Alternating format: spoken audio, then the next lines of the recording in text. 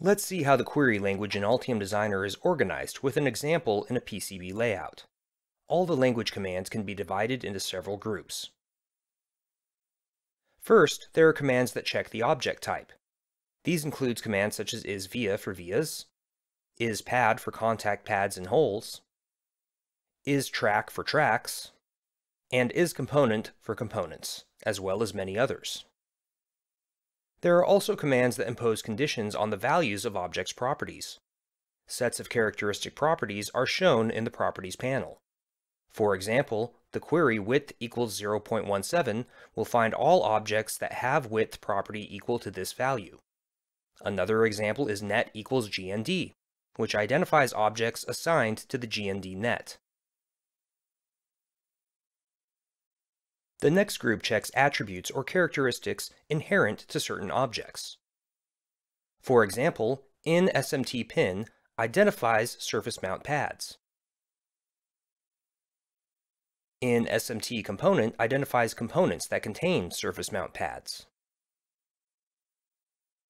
The isWire command finds all tracks and arcs that are on signal layers.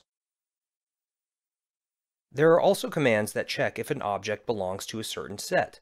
For example, inNet will find all objects that are assigned to a specific net. The command inNet class does the same, but for nets in a certain net class. The inComponent class command selects components in a certain component class.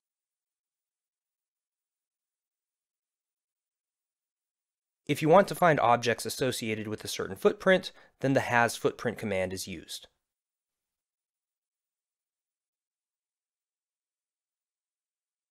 There is a separate set of commands that will return the layer on which an object is located. For example, on top will find all objects on the top layer of the board, while on mid will find all objects on any of the internal layers. Use on multilayer to find objects on a multilayer board, and so on. Here we've only considered a small part of the query language commands. To find the required command, users can explore the detailed help documentation or open the query helper, which contains queries grouped into the categories presented above, checking for type, checking for property field values, for set membership, for attributes, and for layer location. You can also build more complex queries from several commands, which might involve the application of logical and mathematical operators. We'll look at this more in an upcoming video.